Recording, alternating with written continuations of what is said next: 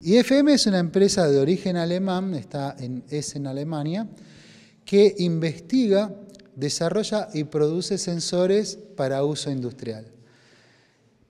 En Argentina es subsidiaria, somos unos 20 empleados, tengo el privilegio de estar a cargo de la capacitación y entrenamiento para toda Latinoamérica.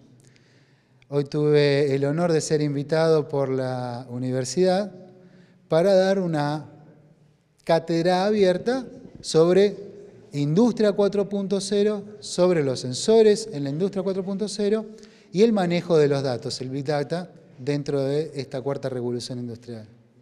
¿Cuáles son las novedades dentro de estas temáticas eh, o lo que han traído para que conozcan los estudiantes de ingeniería? Lo que traemos es la actualidad de lo que está sucediendo dentro de las empresas dentro de las fábricas, dentro de las plantas industriales. Podemos decir que si bien vemos en un contexto económico difícil que está atravesando la Argentina, los empresarios siguen invirtiendo en tecnología. Y esta tecnología hace que la productividad aumente. ¿Por qué? Porque los sensores tienen inteligencia, los actuadores tienen inteligencia, ya hace que la máquina tenga una inteligencia propia, se comuniquen entre máquinas y todo eso aumente la productividad, sea más intuitivo y más fácil lograr una, productividad.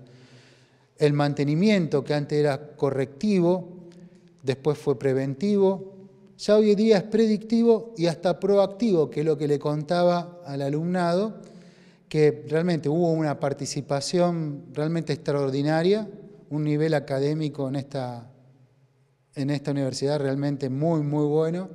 Y de hecho terminamos con unos ejemplos prácticos que demostraron qué es lo que nosotros estamos trayendo a presentarles.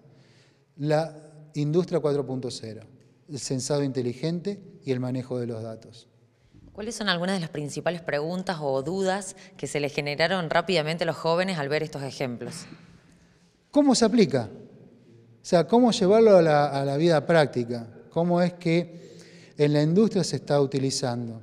Ya había traído algunos ejemplos donde en diferentes tipos de industria esto se aplica. Por ejemplo, detectar si dentro de un paquete están, dentro de un envoltorio están todos los paquetes, detectar anticolisión de un vehículo autónomo que tiene sensor de visión, cómo detecta un sensor capacitivo un nivel en un tanque de agua, diferentes aplicaciones que son de uso común dentro de la industria. Eso era la curiosidad de algunas preguntas que me hicieron. Después, a lo último, terminamos escuchando el ultrasonido.